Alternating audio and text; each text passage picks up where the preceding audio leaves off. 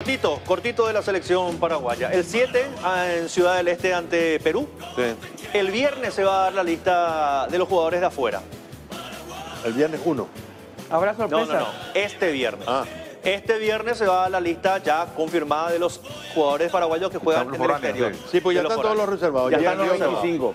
Y el 1 de septiembre sí ya se va a dar la lista definitiva, de los jugadores del plano local también. Bueno. Eh, a mí me dijeron que Adam Bareiro no está. Por su momento, para mí, Tendría que haber estado. tendría que haber estado.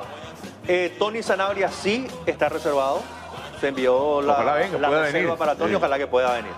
Eh, Bueno, que esté reservado no quiere decir que esté en la lista que final. esté tampoco. reservado solamente le da la posibilidad a la Asociación Paraguaya de Fútbol de convocar al jugador más adelante. Él no, Eso no es vino lo- de pasar una cuestión personal, una cuestión familiar. Dos veces ya. Leguizamón, el compañero de Adam Bareiro, sí, está reservado.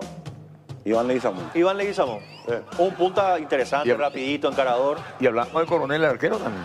Eh, Coronel va a estar. Coronel ya tiene los Con él va a estar y va a ser titular. Y yo creo que va a pelear, eh, o sea, que sí, que sí, que va a ser titular. Eh, a ver, y del plano local, la lista se va a dar el 1. ¿Quiénes pueden estar en el plano local? Campuzano. Me Campuzano. dijeron, Campuzano. me dijeron que iba a estar un lateral izquierdo. Y que la puja era entre Arzamendia y Uh, Espinosa. Arzamendi. Arzamendia no está, me parece. Espinosa. Espinosa. Espinosa. Por lo que me dijeron a mí, Matías Espinosa corre con mucha ventaja. Ahora yo, yo, yo sí voy a atacar. ¿Por qué no llamarlo a Arzamendi? Y creo que la obligación es atacar. Sí, para eso sí. Jugamos de local. Para mí el defensor primero tiene que defender. Sí, eso es la teoría. Pero... Pero si vos y pones un Y central si nomás. perdés la pelota Y pones un central nomás. y, te- y el equipo te quita la pelota, Es el clásico, clásica mentalidad que tuvimos durante años y, y- y nos quedamos tres mundiales sin. No, no, tres cen- mundiales nos quedamos desde que quisimos jugar- jugar la centrales, pelota. centrales en vez de lateral. laterales. ¿Y acaso que Espinosa no tiene esa característica? centrales, no tenés salida. Espinosa acaso Jota no tiene esa Espinosa no, característica. tiene que tener equilibrio. de Espinosa tiene salida, un y vuelta Claro, y tiene buen disparo a media distancia también. Ahora, como lateral por derecha eh, del plano local, me dieron dos nombres que no sé si los dos van a estar o no, pero me dijeron que Piris e Iván Ramírez.